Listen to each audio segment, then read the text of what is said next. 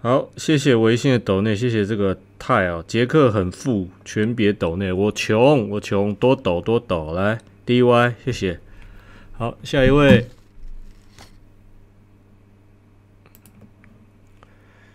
嘿，你先好了，好不好？你好像等了一阵子了。来，这个麦哥九五二七，你开麦。Hello，杰克，哎杰克好，哎，麦哥九五二七，你好，安安几岁？哪里人？二十八岁，河南人。二十八岁，河南的网友。好，来，这位麦哥，你想说什么？嗯，那这个第三次的历史决议，中共的那个决议已经发布了嘛？啊，就是官方已经基本定调了，嗯然后中美不是也开了会了吗？嗯所以在这最后的时刻，呃，我想给美国的朋友说几句发自肺腑的建议。美国的朋友。哦那好摆在嗯，对，嗯就是我是想，呃，为美国的朋友出谋划策。嗯那摆在美国眼前的其实有两条路，嗯一条路呢几乎就是死路，那另外一条是康庄大道，嗯，所以我认为美国人一定要想明白了，哦，不然一招不慎可能会一失足成千古恨。所以我就来分析一下，你说美国现在摆在他面前两条路，一条是死路，一条是康庄大道。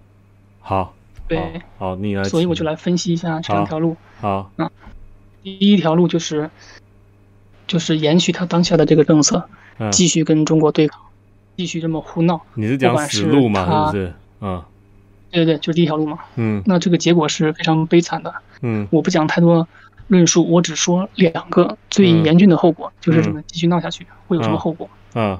第一个，他现在所做的这些所有事情，啊对自己其实是百害而无一利，啊，嗯会持续消耗美国的国际的公信力、嗯。影响力，嗯。加速美国的衰落。嗯。嗯、熟悉我的朋友都知道，我天天讲什么中国超越美国，嗯。但问题是，大多数人不是这样想的，尤其是各个国家的地区跟精英，他们可能非常的了解美国，因为我们这个世界秩序是西方主主主导嘛，对吧？嗯。他们可能非常了解美国，嗯。但是他们对中国非常陌生，嗯，对中国共产党理解非常的肤浅，哎，所以这导致他们认不清现状，这就是我们大家常讲的社会认识落后于社会存在。嗯。我认为美国可以趁着这个信息差，抓紧时间布局，做一些有利于自己的安排和分配。那只要不是太过分，我想中国都会睁一只眼闭一只眼，可能会配合他。嗯但是他没有去做这个事情，他天天去跟中国对抗。嗯我觉得大家再怎么不愿意相信，也能看出来，时间久了，美国已经不是中国对手了，因为他每一次搞中国，都被中国打回去了，不搞还没事儿，这么一搞，立马就露出马脚，嗯继续对抗，只会暴露自己的外强中干。嗯我之前也批评过了，我说，美国居然要挺台湾加入联合国，嗯。这到底是有多么蠢的人才能想出这样的策略？嗯。我这样讲，我不是说站在中国人立场上去批评他，他去分裂我们的国家，是吧？嗯我是站在美国人立场上批评他。嗯。你想一下，你是一个美国人，嗯。你国内一堆问题，嗯。疫情的问题、嗯。经济的问题，嗯。你的政府啥也不干，嗯。天天去搞另外一个国家，嗯。然后呢还要去挺一个小岛嗯。加入联合国，嗯。你说你是不是闲得慌？你的财政预算没地方花了吗？嗯天天管这些屁事，嗯真的是蠢的，就是无药可救，嗯真的就是自己已经都这个样子了，还去管别人。嗯那大家一看就知道，美国已经不是以前的美国了，这是第一个核心的后果。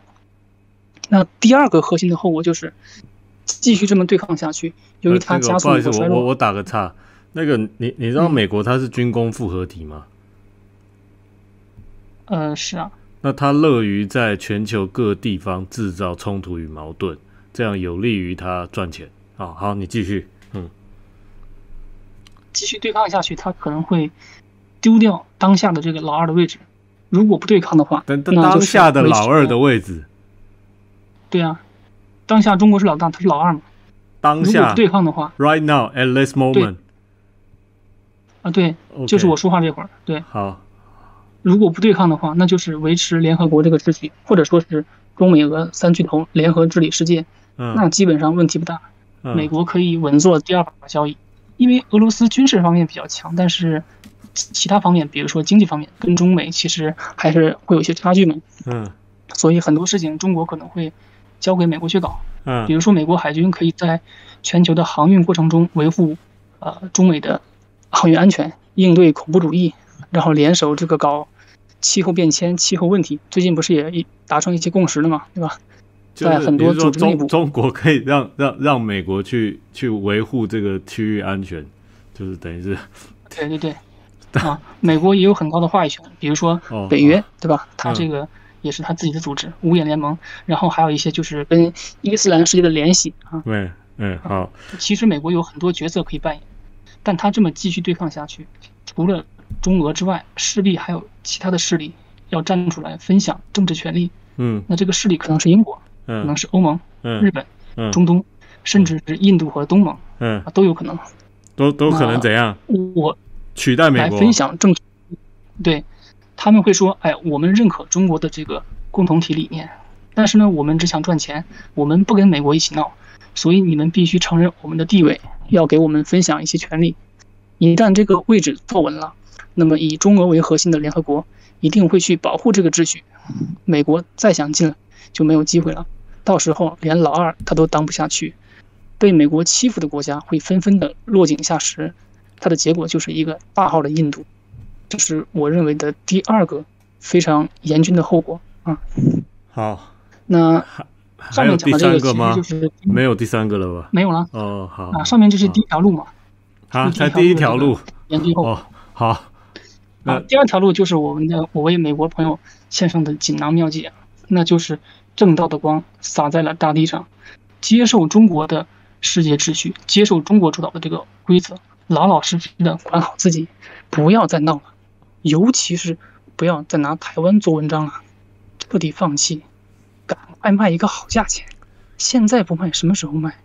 最近不是承诺了吗？互相派出大使吗？嗯赶快跟中国谈，嗯我不搞台湾了，贸易战我也结束，嗯科技战我也不闹了。嗯但是呢，是吧？这个美债，嗯哎，你要买一些嗯外汇，你不要减持了，你要嗯提升提升。嗯中东地区，你要替我说话，就是类似于这种要求，嗯，大家懂我的意思就好了。好，特朗普时期就应该卖了，现在还不卖，等什么呢？所以有的时候你都觉得美国人都都替他们着急，再拖下去，中国已经不需要跟美国谈判了。嗯那么这张牌就活活的砸在手里面了。哦，好。我今天讲的这些，完全是站在美国人的利益上分析，是为了美国好。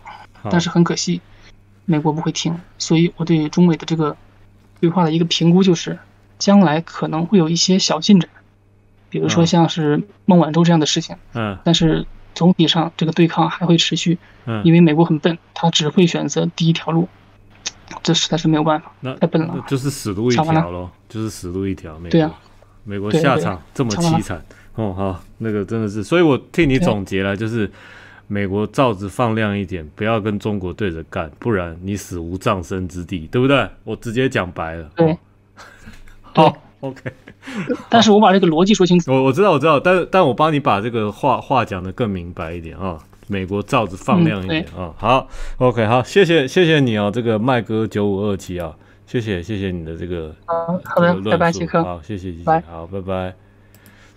美国罩子放亮一点，不然死无葬身之地哦，就是这样。来，嘿，都，呃，来，我来谢谢我微信抖内，谢谢活。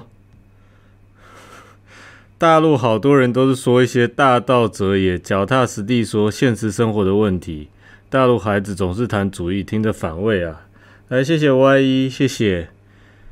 好，来，真是丢大陆人的脸啊！活好，来，谢谢 YT 的抖内，谢谢这个 Sterling Lee，这位大哥应该买个大喇叭去白宫门口喊话，我帮你准备喇叭，真的，真的是，唉。真的是美国这么不识好歹，真的是，唉，胆敢得罪我大中华，有你好果子吃的哦。